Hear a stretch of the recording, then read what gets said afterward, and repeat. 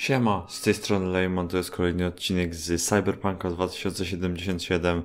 Nadal mamy blokadę w Watson, także mm, nie możemy pojechać do Wakako odebrać naszego wynagrodzenia, więc jedziemy dalej naszą, nasze główne zadanie. Eee, udaj się do Lizzie's Bar pomiędzy 18 a 6 rano. Co właśnie zamierzam uczynić? Bo akurat mamy yy, takie, taką godzinę. W ogóle nie wiem czy zauważyliście, ale mam 5000 prawie, także opłacało się troszeczkę polutować i posprzedawać. Dobra, jesteśmy na miejscu. Dajcie tylko pobieżnie zaparkować. Nawet nie wiem czy się w liniach zmieściłem. O, powiedzmy, że dobrze. Dobra, wchodzimy. Zapraszamy. Masz ochotę na zajebisty braindance? Jasne, wchodzę. Najpierw zasady. Pamiętaj, bez żadnych krzywych akcji w środku i bez nagrywania. Żadnych dragów, żadnego obmacowania. Spodoba ci się ktoś, znajdujesz zdjęcie w katalogu, pożyczasz brainsa i idziesz grzecznie do kabiny. Przecież wiem. Nie wypełzłam spod kamienia. Wchodź. Baw się dobrze, skarbie. Witamy u Lizis. Dzięki. delikatną masz tę buźkę. Ratujemy. Siedź przy barze i zapytaj o Evelyn. A nie ma jej gdzieś tu? Jakbym do nich od razu podszedł? Bywalec. Ej, Co dla ciebie? Ta nazwa klubu Lizis to od imienia właścicielki. Wciąż tu pracuję. Od dawna nie. To zresztą taka słodko-gorzka historia. Zaciekawiłeś mnie. Lizzie prowadziła tu kiedyś zwykły klub ze stripteasem. Lizzie's Bar. Dziewczyny miały niezłe stawki, ubezpieczenie, jako taką ochronę. To było dobre miejsce. Niech zgadnę. Do czasu. Ta. Do czasu, gdy Tiger Claws załatwili Lizzie. Ktoś z gangu sprał jedną z dziewczyn. Lizzie odstrzeliła mu jaja z obrzyna. Następnego dnia wrócili większą grupą. Nie miała szans. Ale ostatecznie Tigersi oddali to miejsce Moxom. No, w pewnym sensie. Dziewczyny musiały się z nimi dogadać. Na szczęście nie straciły głowy i szybko się zorganizowały. Zostawiły szyld z szacunku dla szefowej. I tak interes kręci się jakoś do dzisiaj. Szukam Evelyn Parker. Nie wiesz, czy jest gdzieś tutaj? A kto pyta? Wi. Jesteśmy tu umówione. Miło cię poznać. Mateo, Mhm. Gdzie znajdę Evelyn? to spory klub. Będziesz musiała się rozejrzeć. W porządku, Mateo. Czekałam na nią.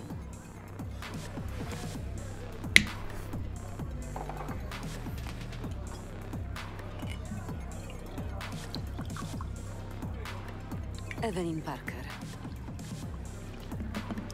Gdy tylko weszłaś do klubu, wiedziałam, że to ty. Okej.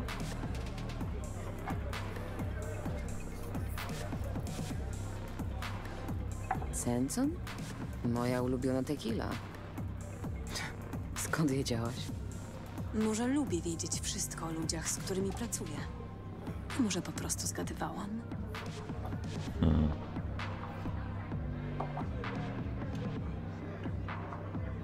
Możemy pogadać o zleceniu? Podobno masz coś dla mnie. Tak, ale nie tutaj. Chodź ze mną. Będziemy w loży, Mateo. Nie ma nas dla nikogo. Idziemy do pokoju VIP. Taka dziewczynka. Wszystko jest w porządku. Z takiemu przystojniemu. Po prostu powiedz mi Coś tradycyjnego. Ostrzego. Laty.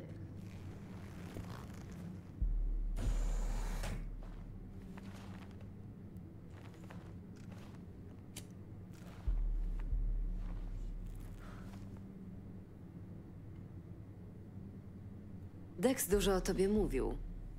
Profesjonalna, skuteczna i godna zaufania. Mam nadzieję, że nie przesadził. Nie wiem, czy Dex ma tendencję do przesady. Może tak, może nie. Chyba musisz przekonać się sama. Pracuję z nim od niedawna. Słyszałam o dwóch typach fikserów. Jedni mają stałe ekipy, na długich kontraktach i krótkich smyczach. Tacy fikserzy cenią lojalność i przewidywalność. Ale Dex musi należeć do drugiego typu. Co chcesz przez to powiedzieć? To łowcy. Wierzą tylko w jedno swoją intuicję. Stawiają na tych, w których widzą potencjał. Jeśli jednak zdarzy im się popełnić błąd, to jest to ostatni błąd w ich życiu. Dlatego mam nadzieję, że Dex się nie pomylił. Pogadajmy lepiej o akcji. Co dla mnie masz? Rozumiem, że wiesz, co masz ukraść. Relik. Kluczową technologię programu Secure Your Soul. Należy do Arasaki. Co oznacza, że cała operacja będzie cholernie niebezpieczna. Arasaka wydaje miliardy na rozwój technologii transferu osobowości, ale mnie interesują dane zapisane na reliku.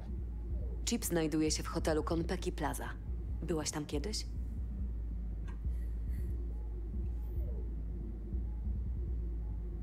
Korporacyjne hotele tej klasy są zdecydowanie poza moim zasięgiem. Architekt wnętrz wspiął się na wyżyny swojej sztuki. Przekonasz się. Skąd dokładnie mamy zabrać ten relik? Z apartamentu na ostatnim piętrze. Pokój wynajmuje Yorinobu Arasaka. Yorinobu Arasaka? To on jest tutaj? Nie czytasz gazet? Wszyscy pisali o przyjeździe Yorinobu do Night City. To w końcu dziedzic imperatora. Jedyny wciąż żyjący syn Saburo Arasaki. I co? Arasaka planuje przejęcie władzy w Night City?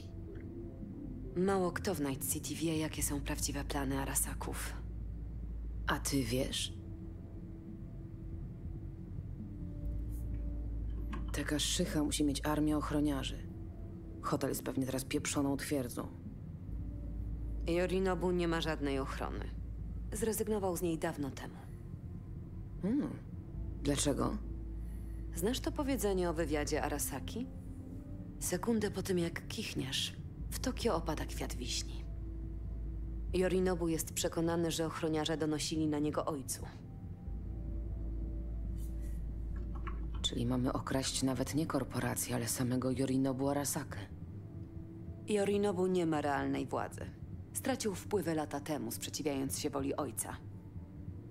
Saburo od dawna ściska go za jaja i prawdopodobnie mu je utnie, gdy tylko się dowie, że synek znowu zaczyna kombinować. No dobrze, jeśli trzymasz w rękawie asa, to nadszedł moment, żeby go wyciągnąć. To powinno cię zainteresować. Yorinobu wyniósł chip z laboratorium Arasaki. W tajemnicy przed wszystkimi. Dogadał się z Netwatchem. Chce im go sprzedać. Dostrzegasz już mojego asa, czy mam mówić jaśniej? Co Yorinobu dostanie w zamian? Nieważne. Skup się na biochipie. Ale co mogą mu zaoferować strażnicy cyberprzestrzeni? Tajemnice wroga? To nieistotne. Dopilnujesz, żeby do tej transakcji nigdy nie doszło, a relik trafił do mnie. Zaraz. To Netwatch miesza się w takie sprawy? Netwatch pilnuje bezpieczeństwa w sieci w imieniu wszystkich korporacji. Za co zresztą dostaje grube miliony. Ale żyjemy w świecie pozorów. Nikt nie jest święty. Jeśli chcesz wygrać, nie masz wyboru. Musisz grać bank. No dobrze. Arasaka nie chroni relika, bo Yorinobu zabrał go w tajemnicy. Gdzie w takim razie go trzyma? Najprawdopodobniej w specjalnym pojemniku, zapewniającym odpowiednie warunki imitujące środowisko neuronalne. Wygląda jak niewielka walizka. A pojemnik? Za chwilę sama zobaczysz. Skończyłyśmy plotkować o Arasakach? Co jeszcze wiemy o Yorinobu? Całkiem sporo. Studiował biotechnologię i finanse w Tokio, co pewnie wcale nie było jego pomysłem. Saburo szykował go na swojego następcę. No, ale Yorinobu na wiele lat odciął się od korporacji. W końcu wrócił na łono rodziny, chociaż łatka czarnej owcy pozostała. Ale to tylko jedna z jego twarzy, bo jest i druga. Twarz bardzo inteligentnego faceta, który ma swoje plany wobec korporacji.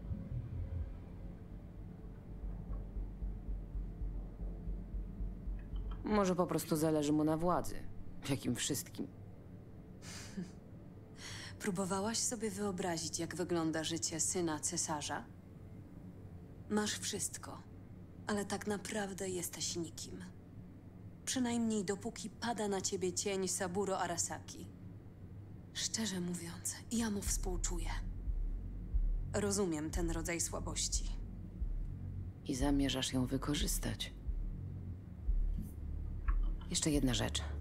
Jakie informacje znajdują się na reliku? To całkowicie nieistotne. Mówimy o danych, które Yorinobu Pokryjomu wynosi z Arasaki i chce przekazać Netwatchowi. To musi być istotne. Posłuchaj, Vi. Interesuje mnie relik. Ciebie interesują pieniądze. Po prostu wykonaj zadanie, a ja przeleję na wasze konta okrągłą sumę. Okej. Co teraz? Teraz czas na najlepsze. Chodź. Mam dla was coś, co umożliwi zaplanowanie całej akcji. Braindance z Konpeki Plaza. A czemu akurat Braindance? Potrzebuję faktów, nie wrażeń. Myślisz, że Braindance to tylko wirtualne pornole w tamtych kabinach? Takie nagrania pozwalają analizować szczegóły nieosiągalne dla ludzkiej percepcji, nawet No wspomaganej. nie. Zamówić A tego Nie, nie, właśnie nie. potrzebujesz. Oj, to nie ze mną tak. Co jest na tym nagraniu? Wnętrze apartamentu Yorinobu. Relik będziesz musiała zlokalizować sama. Mam nadzieję, że udało mi się zarejestrować każdy detal. Zaraz. To ty nagrałaś ten materiał? Szczep nagrywający. Masz z tym jakiś problem? Nie. To żaden problem. Hmm. No to zobaczmy ten Braindance. Pomoże nam w tym Judy. Jest z Moksów. Znamy się od lat.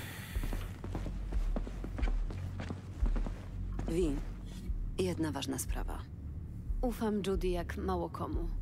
Już nieraz korzystałam z jej pomocy. Ale nie zapominaj, że nie należy do twojej ekipy. Uważaj, co mówisz i jak się zachowujesz. Okej? Spokojnie. Potrafię się zachowywać w towarzystwie i w interesach. Mhm. Zobaczymy.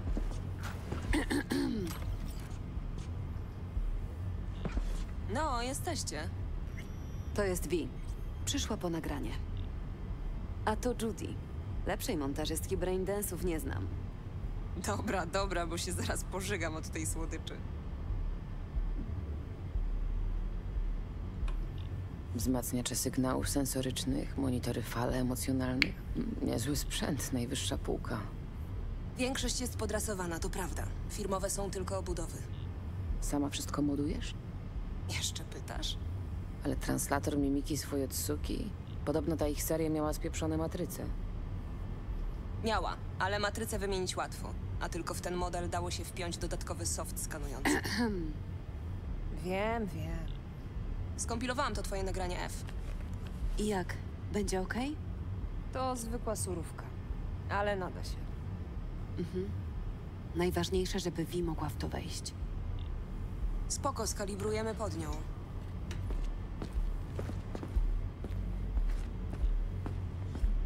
Radziłam sobie już z gorszym szajsem, więc luz. Nie widziałaś pornosów, jakie dostajemy czasem z Jig Jig Street. To co?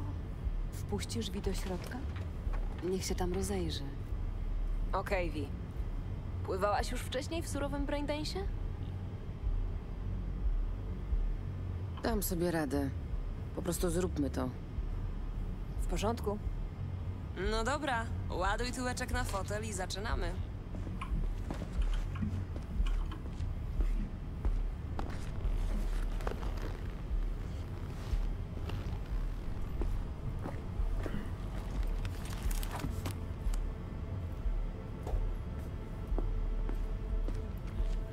to idźmy.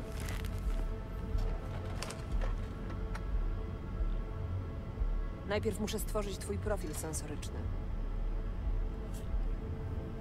Czekaj, co to za profil? Muszę dopasować model twoich reakcji emocjonalnych i percepcji do surowej wersji Braindance'u. Inaczej po podłączeniu w najlepszym wypadku poczujesz mdłości. Trochę jak w spieprzonym wirtualu. Aha. A w najgorszym? Mm, wysmażę ci synapsy. Ale spokojnie, nie dopuścimy do tego. Okej, róbmy to. Ale obiecaj, że nie będzie bolało. Nie przesadzaj. Zaczynamy. Siedź nieruchomo i patrz w moją stronę. Podłączam cię do softu analizującego. Poczujesz lekkie mrowienie. Mhm. Okej. Teraz ustawimy ci optykę i resztę sensorium. Patrz prosto w te dwa ekraniki, jak na badaniu wzroku.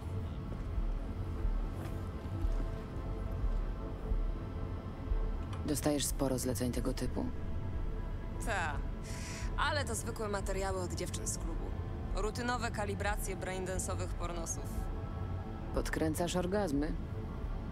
Raczej wycinam bzdury. Na przykład niepotrzebne emocje aktorów. To rutyniarze. Pieprzą się mechanicznie, myślą o pierdołach, kredytach, mężach, żarciu. Ale nawet na takich fuchach da się tak modelować emocje, żeby były niepowtarzalne i niezapomniane. Więc nie narzekam. Instaluję ograniczniki receptorów bólowych. No dobra. Gotowe. Teraz przetestujemy twój profil. Włączę ci na początek jakiś przykładowy braindance, żebyś się oswoiła z edytorem. O, No dobra. Co by ci tu... Myślałem, że przejdziemy od razu do akcji. Oszczędzimy czas. Wolę nie ryzykować. Ale to potrwa tylko chwilę. Wybrałam jej coś odpowiedniego. Pomiń samouczek braindance'u. Chyba mogę to pominąć. Długo nie potrwa. Wchodzisz do braindance'u za 3, 2, 1. Plan jest prosty, więc bez wydziwiania. Wpadasz, zgarniasz szmal, wypadasz. Sprzedajemy Braindance tym świrom ze studia. Jasne, jasne, jasne. I pamiętaj, wszystko na maksymalnej pompie. Oni płacą za adrenalinowy high. Okej, wchodzisz!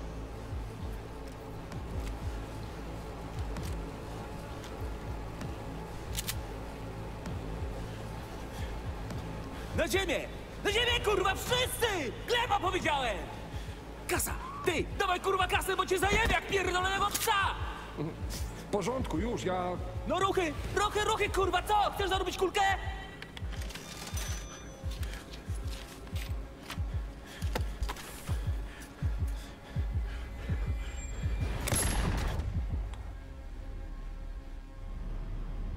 Robi wrażenie, co? W sumie szkoda, że większość tego, co tu obrabiamy, nadaje się tylko do fab folderów. To co? Gotowa, żeby zająć się waszym nagraniem? Nie, nie wiem. Może zróbmy przerwę. Cały czas czuję, jak tam ten chłopak... Chyba mam dość. Wi, nie mamy czasu. Skup się, proszę. Okej, okej. Możemy zaczynać. Tylko muszę połączyć się z T-Bag. Zaraz, zaraz, z kim? Trenerka z mojej ekipy zna się na zabezpieczeniach. Podpowie mi, na co zwracać uwagę w trakcie edycji materiału. To chyba nie problem. Szczerze? To spory problem. Nie umawiałyśmy się na coś takiego, F. Wyluzuj. Nic się przecież nie stanie. Chyba nie zdajesz sobie sprawy, ile ryzykuję wpuszczając was tutaj i grzebiąc w tym materiale. Wszyscy ponosimy ryzyko. Więc albo łączę się z T-Bag i kończymy tę robotę, albo wychodzę. Judy, proszę. W porządku, dzwoń. Miejmy to już za sobą.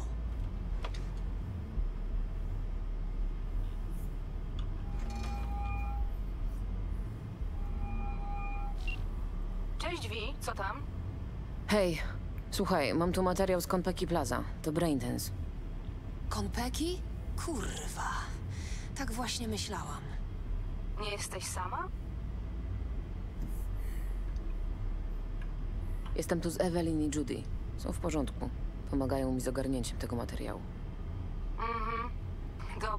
O co chodzi? Potrzebuję twojej pomocy. Nie wiem na co zwracać uwagę, gdy już będę w środku. Oprowadzę cię po tym braindensie. Podpinam się do twojego sprzętu.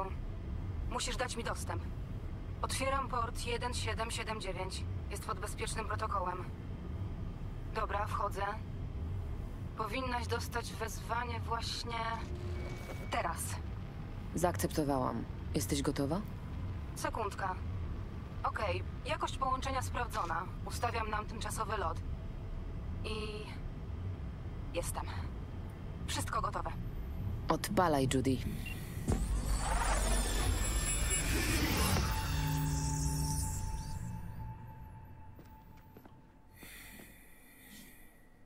Się zaczynają poważne rzeczy.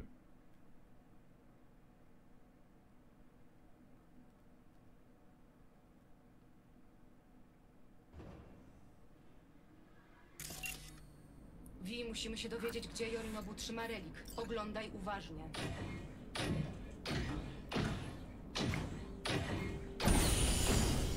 Jesteś tylko kawałem mięsa do rżnięcia. Evelyn. Ona... Poczułam jej przerażenie. O, ale błyskawicznie się opanowała. Powiedziałem. Nie. Oni mi za to zetną głowę. To zginiesz w słusznej sprawie. Ale ja... Rozgość się, proszę. Zaraz to skończę. Musisz podsłuchać tę rozmowę, Wi. Tam może być coś ważnego. Oj, tryb edycji.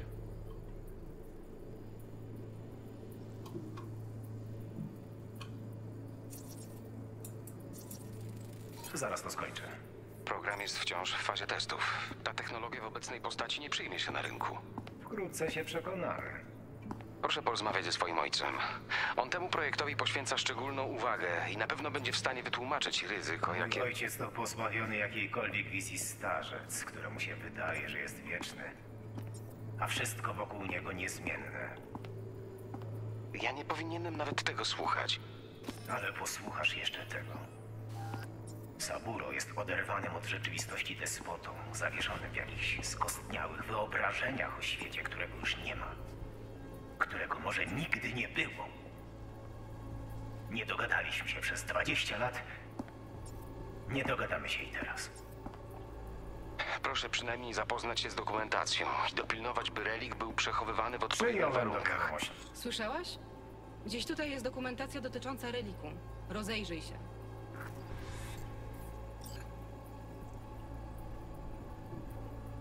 Dobra, chwila, jeszcze chciałem te systemy zabezpieczeń. Dobra, od początku. Okej, dobra, tu jest. Smasher. Kurna, przewijaj mi to do, do tyłu. Co zeskanować? System alarmowy. Najnowszy firmware, ale ptaszki ćwierkają w BBS-ie, że ta wersja jest dziurawa jak sito. Wygeneruje klucze i podrobię ich sygnaturę. Hmm. Coś jeszcze widziałem, czy mi się wydaje? Chwila, jest kamera. Wykrywa szym ruchu.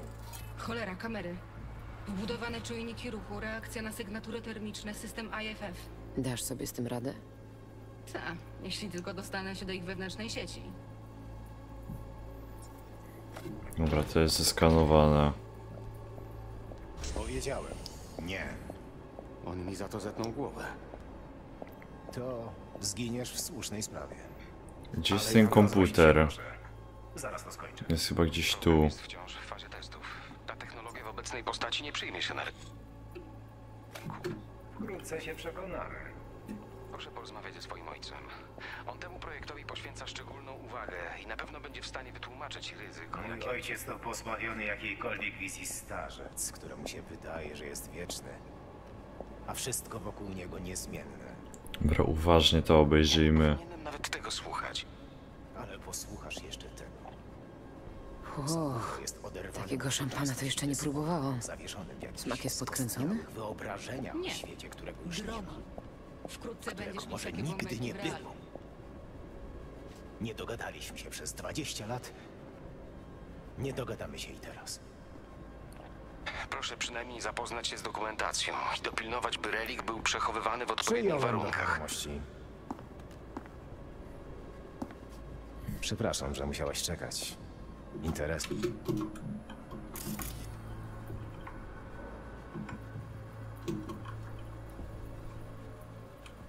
No dobra, nie widzę nic do zeskanowania. Jak zwykle. Na szczęście jeszcze nie zaczęłam się nudzić.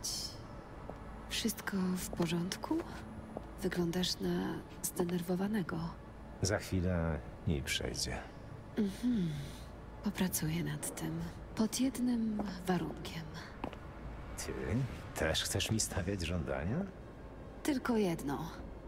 Skup się na mnie. Zostały nam jakieś dropsy? Chwila. Dobra, nie ta warstwa. Tutaj ten kąp jest bodajże. Albo nie? Chwila, to są te wieżyczki. Wieżyczki automatyczne. Najnowszy model skanerów. Jednostka centralna podłączona do ich systemu. Możesz je wyłączyć? Z zewnątrz nie będę miała szans. Muszę najpierw sprawdzić, w jaki sposób są podłączone do systemu. Wszystkie ich systemy bezpieczeństwa podłączone są do wewnętrznej sieci hotelu. Hmm? Musimy zdobyć Flatheada, inaczej nie wyłączymy tych systemów. No, dobra, mamy już go. Bez niego się nie obejdzie. Nie ma szans. A przynajmniej ja nie mam lepszego pomysłu. Dobra, gdzie jest ten komputer? Po nich fajnie. A dobra. Przy łóżku. Yy, będzie właśnie na końcu. Zaraz do ciebie dołączę.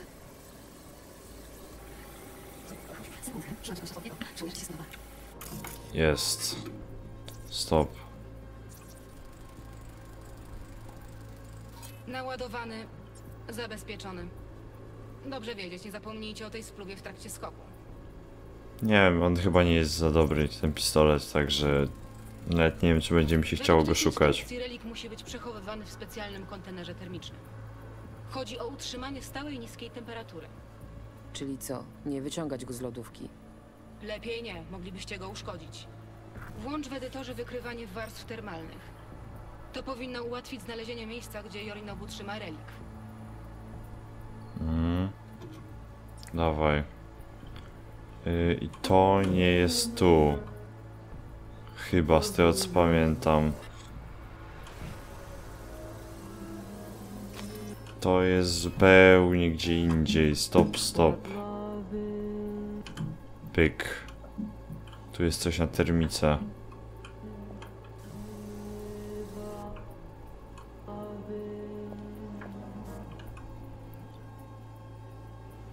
Coś tu mogę zeskanować? Chwila.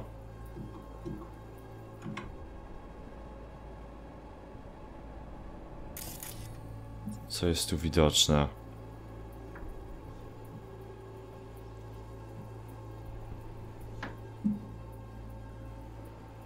Ja jestem chyba ślepy. A że tu? To klimat, to nieważne. Klimatyzacja. Standardowy model na wyposażeniu hoteli tej klasy.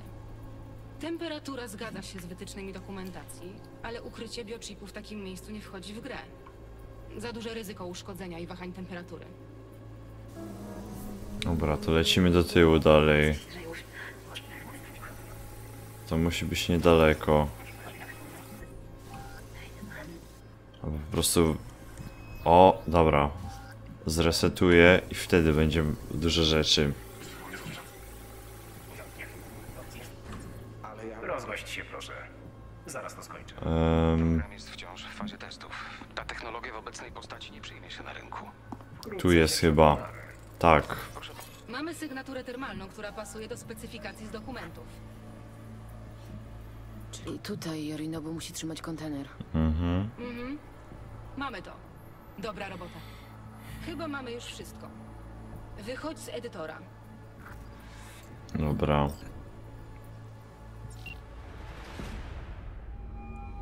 Masz wszystko, co trzeba? Tak. Tyle wystarczy. Dzięki. Mamy to. T-Bag, rozłączam się. Dobra robota. Widzimy się wkrótce. Kasuję wasze dane z serwera i pamięci podręcznej. Jakby co, nie było was tutaj.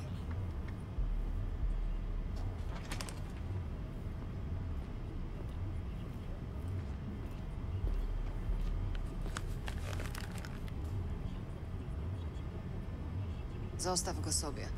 Dopiszę do rachunku Evelyn. To przenośny edytor. Obsłuży też inne braindensy. Ma twoje pliki kalibracyjne. Nie jest tak dobry jak mój, ale jakoś sobie poradzisz. W dodatku bez narażania cię na ryzyko. Sprytnie. A propos ryzyka, tak sobie patrzę na was i wiecie co widzę? Żywe, gadające trupy.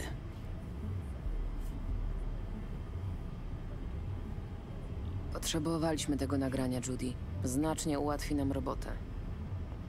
Serio? To nagranie zaprowadzi nas do grobu. Jeśli Arasaka dowiesi, że to macie, jesteście martwe. Ja jestem martwa. Judy, odpuść. Nikt się o niczym nie dowie. Evelyn, nie wybieraj drogi na skróty. W ten sposób nie wygrasz z tym miastem. Bądź ostrożna. No jasne, że będę. Zresztą pogadamy za chwilę. Mm.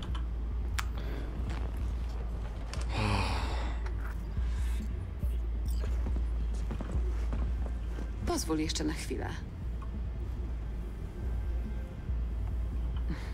Nie wpakuję cię w kłopoty i mam nadzieję, że jeszcze się zobaczymy.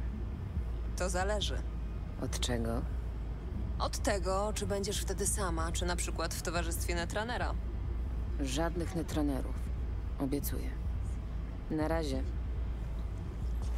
Dobra. Przejdźmy się. To jest, teraz będzie bardzo ciekawa rozmowa, której nie do końca rozumiem.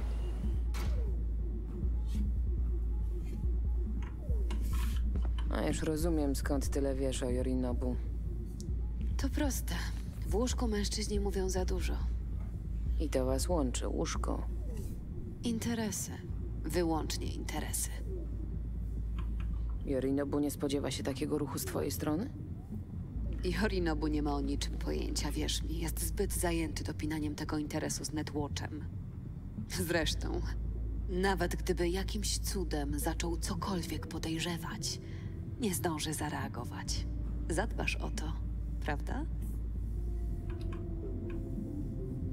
Nie boisz się, że już po skoku Arasaka prześwietli wszystkich, którzy mieli styczność z Yorinobu? To będzie długa lista z nazwiskami grubych ryb o wiele wyżej postawionych ode mnie. Jak myślisz, komu przyjrzą się najpierw? Im? Czy takiej szarej myszce jak ja? Informacja o Yorinobu, o chipie, Braindance z Konpeki. Perfekcyjny plan. Robota, która zdarza się raz na milion zleceń. Mhm. Dzięki. A teraz czekam na puentę. To po prostu brzmi za dobrze. Gdzie tu jest haczyk? No co ty? Chcesz zrezygnować? Po prostu powiedz mi, że naprawdę masz wszystko pod kontrolą. Że nie wpakujesz mnie w gówno, z którego już się nie wygrzebie. Wi, nie mam żadnego powodu, żeby cię oszukiwać.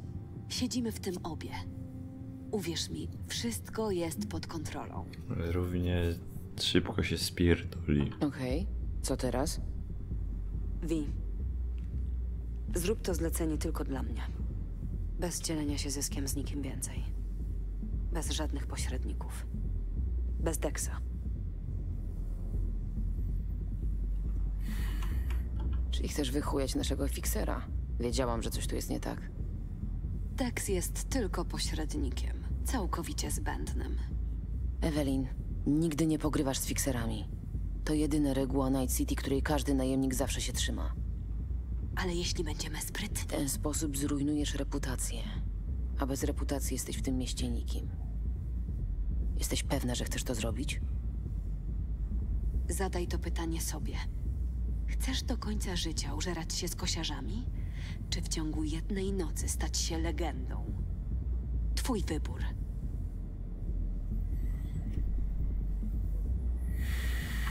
Jeśli się zgodzę, to będzie mieć poważne konsekwencje. Wiem. Dlatego niezależnie od twojej decyzji, to musi zostać między nami. Proponuję 50%. Z taką kasą zrobisz, co będziesz chciała. I będę spalona. Dex nie wybaczy takiego przekrętu. Tex nie jest jedynym fikserem w Night City. Za to moja propozycja jest jednorazowa. Przemyślę to. Mhm. W razie czego dzwoń. Prześlę ci swój numer. Okej. Powodzenia. Zmykaj. Muszę jeszcze pogadać z Judy. W razie czego?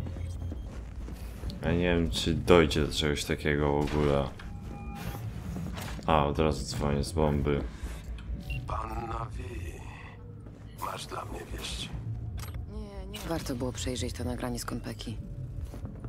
Tibak już do mnie dzwoniła, analizuje materiał.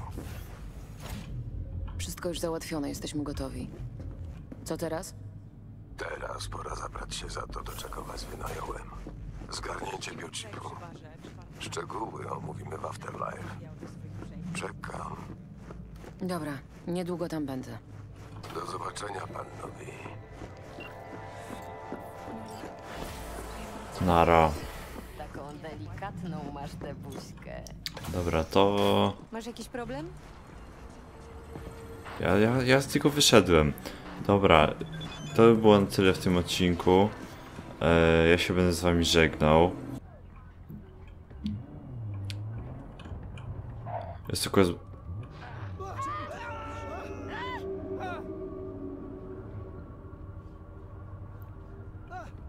Ja, ja nie pytam co się stało.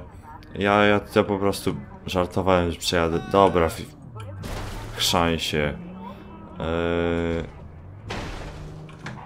Kuźwa, co się dzieje? Dobra, nieważne.